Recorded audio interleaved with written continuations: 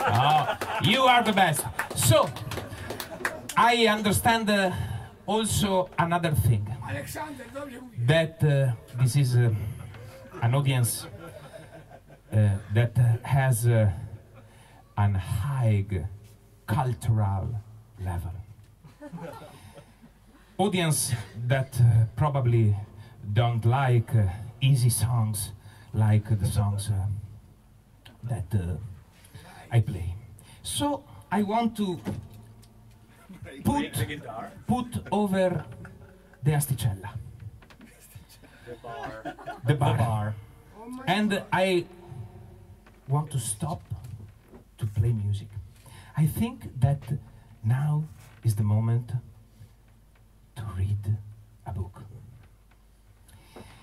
Here there are a lot of books, but are in, uh, in Polish, and it is difficult for me.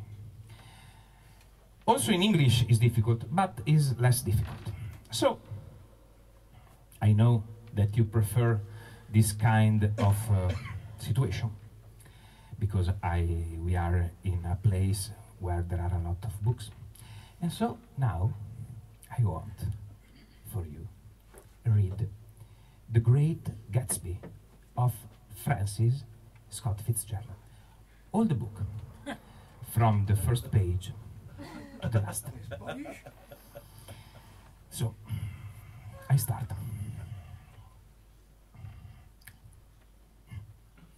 In my younger and more vulnerable years, my father gave me some advice that I have been turning over in my mind ever since.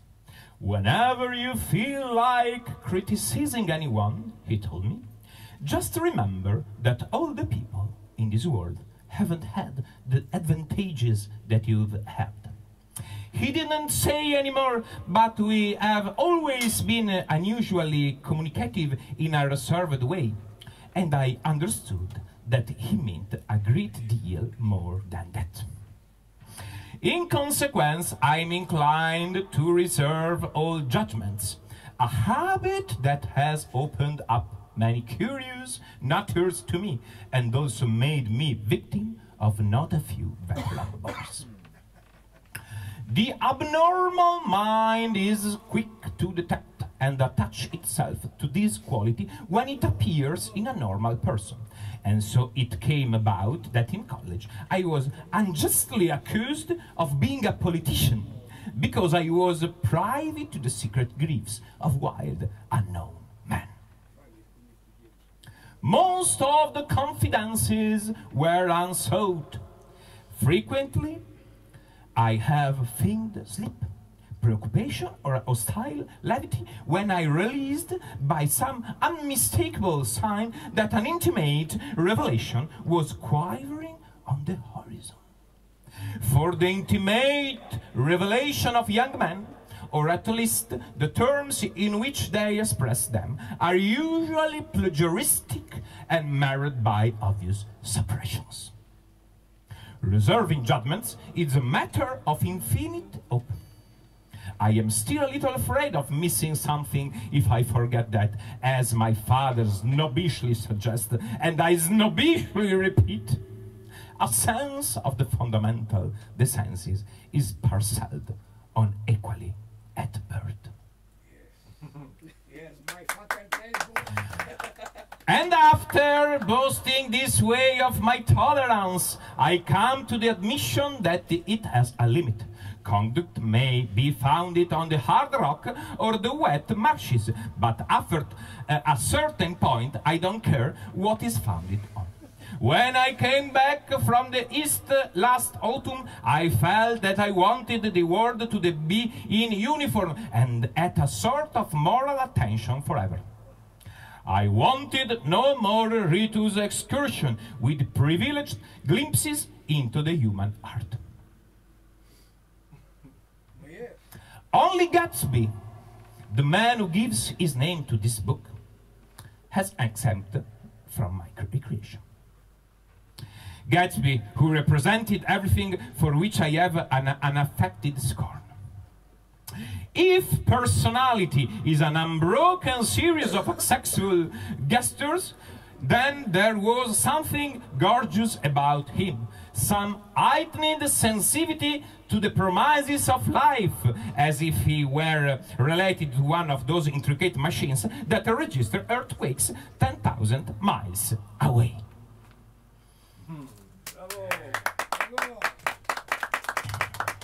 This responsiveness had nothing to do with that flabby impressionability, which is dignified under the name of the creative temperament. It was an extraordinary gift for hope. Romantic readiness, such as I have never found in any other person, that which it is not likely I shall ever find again. No, Gatsby turned out all right at the end. It is what preyed on Gatsby, what fool thus floated in the wake of his dreams that temporarily closed out my interest in the abortive sorrow and the short-winded election of man. My family have been prominent, well-to-do people in this middle western city for three generations. The Carraways are something of a clan, and we have tradition that we are descended from the Dukes of Buccleuch. But the actual founder of my line was my grandfather's brother, who came here in 51, sent a substitute to the Civil War, and started the wholesale hardware business that my father carries on today. I never saw this great uncle, uh, but I'm supposed to look like him, with special references to the Rater hard-boiled painting that hangs in father's office. I graduated from New Haven in 1915, just a quarter of a century after my father, and a little later I participated in the delayed Teutonic migration known as the Great War. I enjoyed the counter raid so truly that I came back restless. Instead of being the warm center of the world, the Middle West, the North seemed like the ragged edge of the universe. So I decided to go east and learn the bond business. Everybody I know was the bond business, so I supposed uh, all my aunts and uncles take it over as if uh, they were choosing a prep school for me, and finally said, Why, yes, with a very grave, hesitant faces.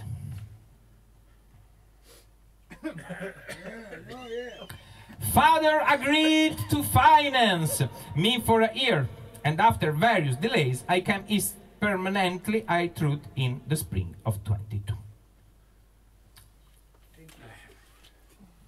Her husband, among various uh, physical accomplishments, had been one of the most powerful ants that ever played football at New Haven.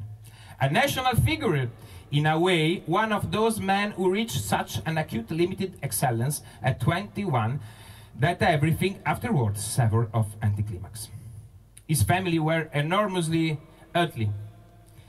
Even in college, his freedom with money was a matter for reproach. But now uh, had left uh, Chicago and come east in a fashion that rather took you breath away. For instance, it broke down a string of polo ponies from Lake uh, Forest. It was hard to realize that a man in my own generation has wetly enough to do what that. Why they came east, I don't know.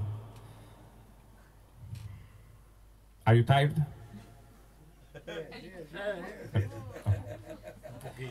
We live in a democracy. Do you prefer that I continue to read the, the book? And do you prefer to listen an album? Yes. Who is for the book? Nothing. Who is for the album? I don't understand. Who is for the book? Who is for the album? I I don't heard. Who is for the album? So, uh, put up uh, the volume. I want that people listen the album. It's better. Okay. Deutsch. Yeah, speak English. Why they came is I don't know. They had spent a year in France for no particular reason, and then drift here and there unrestfully wherever people played polo and were rich together.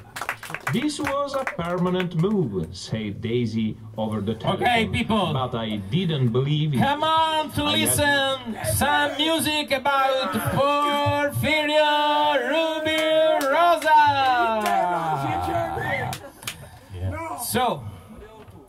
I want to play for you my most famous song in Italy. A song